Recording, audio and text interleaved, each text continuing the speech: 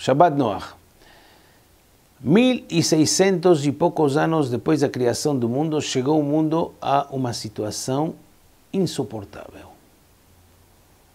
A geração do dilúvio, Deus manda o dilúvio e acaba com todo uh, tudo que a gente conhece como humanidade, terra, animais, tudo, tudo, tudo, essa história já é conhecida. E foi salvo através da Arca de Noé, a Arca de Noé, e todo mundo conhece. Mas tem um detalhe que talvez muitas pessoas não sabem. A Torá frisa um passuco, uma frase, aqui no início da Parashá, que pois a terra se preencheu de Hamas, de roubo. Além de toda a, a, a corrupção que existia na época do Luio Noach, quando nós falamos de corrupção, se trata de idolatria, se trata de adultério, existia um pecado que este foi quem deu carimbo para o decreto do dilúvio. Roubo. As pessoas roubavam um dos outros. roubavam.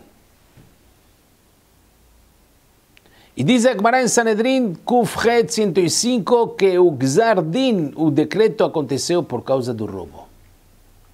E por quê? Explicam Hachamim. Entre eles, o Hafetz Haim explica que o, cada vez que a pessoa faz um pecado, cria um anjo negativo. O anjo que é criado pelo roubo é um anjo que ele é cara de pau, é sem vergonha. Ele acusa, acusa, acusa, acusa. Havetz Haim traz um exemplo e com isso dá para entender tranquilo. Tinha uma vez um devedor um devedor, ele devia muito dinheiro, devia para várias pessoas. Então as pessoas chegavam na porta da casa dele e falavam, e ele sempre explicando e tentando dizer: olha, dá um tempo, vamos fazer, tá, tá. Fez uma reunião com todos os credores dele, pá, pá, pá. Um deles se levantou e disse: meu amigo, eu não espero nem mais um minuto.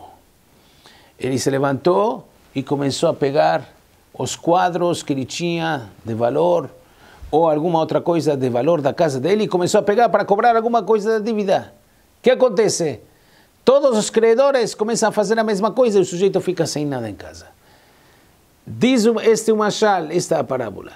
Diz o Havetz Haim a mesma coisa. Quando tem um anjo neg criado negativo por causa do roubo, ele me catrec barros, fica fazendo promotoria na cabeça. E o pessoal do dilúvio tinha este problema do roubo. E por isso foi carimbado o decreto para o Mabul, o dilúvio, e deixaram de existir. Nós, hoje, que tem a ver conosco hoje? Roubo não significa o que nós conhecemos como roubo ou furto. É? Que o sujeito vá, ele entra na casa do outro, é? Entrou pela janela, roubou, ou assaltou, ou trouxe um revólver e apontou uma arma e tirou um telefone. Não, isso claro que é roubo. Mas existem outros roubos que muitas vezes a gente não presta atenção deles. Se chega para seu amigo e diz, você me dá cinco real, preciso. Passa um dia, dois dias, três dias, quatro dias, cinco dias, uma semana, um mês, dois meses, não pagou. O que, que é isso? Não é roubo? Você chega num lugar que é de público, na sinagoga, por exemplo, e tem uma caneta aí, coloca na mesa. E se precisa uma caneta, pega a caneta da mesa e usa. E que, de quem é a caneta? Talvez o sujeito está sentado lá. Quem te, quem te emprestou a caneta? Isso também é roubo.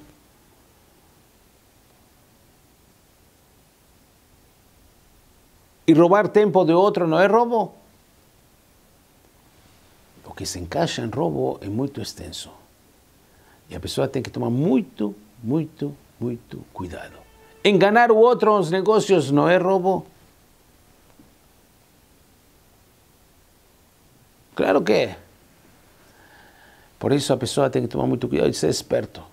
Está certo? O dilúvio não vai acontecer de novo porque Hashem já prometeu que não vai acontecer de novo.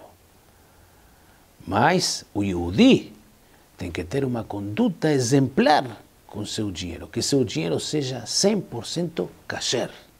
Assim como o alimento da pessoa é kasher, o dinheiro tem que ser kasher. Muitos pensam que quando chega a questão de dinheiro, tudo permitido. Assim sobrevive. Assim sobrevive, você tem que sobreviver, então te pode enganar, passar a perna, pá, pá. A Torá quer que você seja um sujeito honesto. Honesto sem nada de dúvida em relação ao seu dinheiro que tem no bolso. Que o seu dinheiro seja 100% kasher. Seu dinheiro seja 100% limpo. Sem enganos, sem roubo, sem enrolação devolvendo o que você diz. A Torá diz, Lover Rashav Lo Yeshalem. A Torá diz, em outro lugar o Pasuk, Lover Rashav Lo Yeshalem, diz David Amelech no Teilim, um sujeito que pega emprestado e não devolve, ele é Rasha. E muitas vezes você pega emprestado do outro alguma coisa e você não devolve porque você esqueceu, mas você é Rasha. Então vem a Torá e te diz, saiba que a geração do dilúvio, o problema deles foi, o principal problema, foi o roubo. Que malea a aretz. Vamos tomar cuidado com isto. Nós, ensinar nossos filhos também. É seu, não pega. Se não é seu, você não pega. Ah, deixou lá. Você não pega. É seu, não é seu, então não usa. É muito importante inculcar isso nas crianças. Um dos motivos que nas escolas religiosas começa a estudar os tratados de Talmud ligados com prejuízos aos outros, Babakama, Nezikin, é justamente para dar valor nos olhos das crianças sobre o patrimônio alheio. O patrimônio alheio tem um valor muito mais do que o seu. Tome cuidado de não fazer nenhum tipo de roubo, nada.